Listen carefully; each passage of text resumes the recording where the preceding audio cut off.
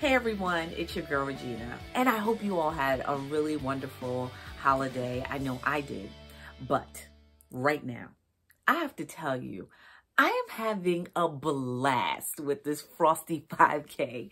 Have you seen the pictures? They are hysterical. It has brought out people across the country, from other states even, and people are dressing up and going out and communicating again. It's, it's like normalcy, you know, it, when we haven't had anything normal. So I want to really encourage you, if you haven't already signed up to do the Frosty 5K, definitely do it. You don't have to run it. You can walk it. You can um, do the elliptical. You can do a stair climber. It doesn't matter as long as you complete the distance. And I want you to see what I'm talking about because we're, we're like talking smack and having a good time. it, it is so much fun.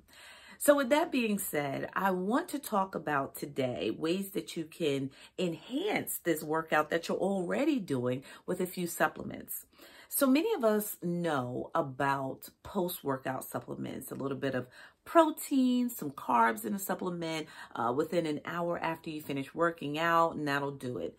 And even things that you can take during your workout, like gels and gummies to help you with endurance during that whole time.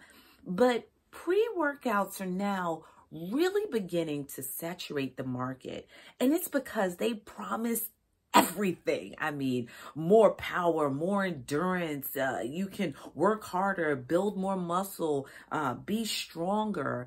And um, they're they're offering it to you in powders and pills and, and everything. And really what they are are stimulants.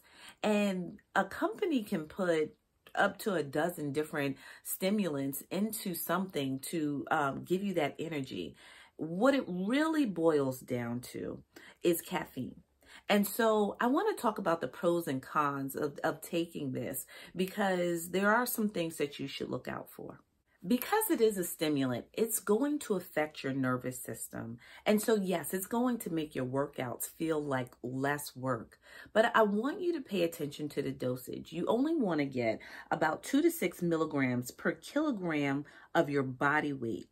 And then you want to time the digestion. So if you think that it takes about 45 to 60 minutes for your coffee to digest in your body, you want to try and give it at least like 30 minutes for digestion.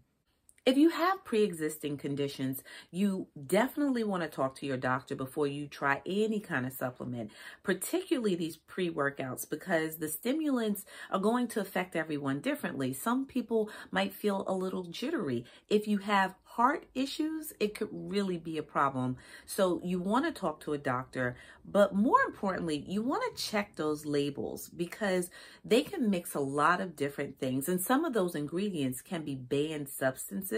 So check the labels, make sure you know what you're getting.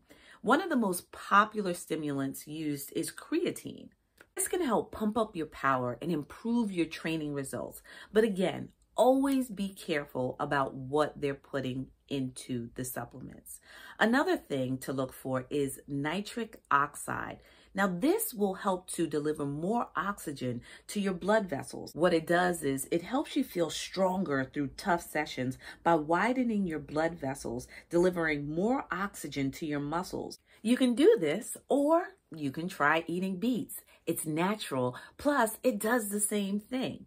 Speaking of which, you can also gain weight by taking pre-workouts because another key ingredient is sugar. And as they add more sugar, it can help you add more weight. So try and keep it to about 100 calories per serving. That way you can kind of modify how much you really need or don't need or you can try eating a banana with a little bit of peanut butter or any nut butter that you like. And, and this should also give you that energy, that boost you need to get through your workout. Another key ingredient to look for are amino acids. Now, what amino acids do are they try to um, stop the breakdown of your muscles. And this is really, really good. But you don't necessarily need amino acids. You can take something natural like green tea or tart cherry juice. It all comes down to if you're going to use a pre workout supplement, make sure you're an informed consumer. Read the labels, know what you're putting in your body because we don't want to do more harm than we do good.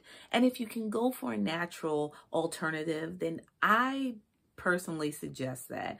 I believe that plant based is always better because we know what it is, right? We know bananas, we know beets, we know tart cherry juice versus anything else someone might manufacture. So, with that being said, you can always hit me up with questions or comments at Philly Fit Chick on Instagram or right here.